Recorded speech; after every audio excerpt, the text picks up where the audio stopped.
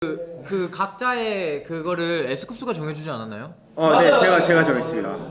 약간 개인 개인적인 감정은 없었어요. 아 그래요. 네 그럼 다음 장면 가볼까요? 아 여기, 어, 여기, 체인저. 체인저. 호시형 지금 만지고 있는 그 차는 천저는 차고 그리고 뒤에 어 오지형 들고 있는 거 약간 아낀다 그때 어 맞아요. 올마주를 느끼실 수 여기 있습니다. 아낀다 그 차 아낀다 차죠 아낀다 차 우지영 힘이 어마어마하네요. 차를 들고 다녀요.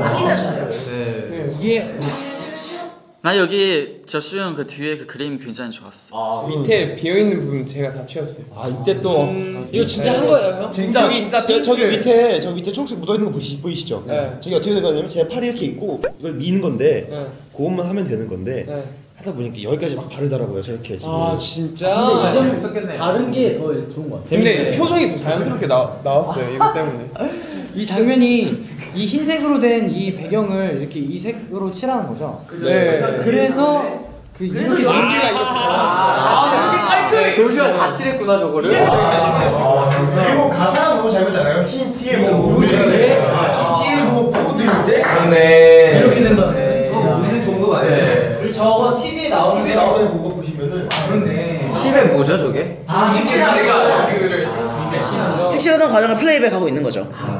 이번에 캐치를 야 이때 순간이 표정이 정말 예술. 예. 정말 이해할 것 같지 않아요? 예. 잘하네요.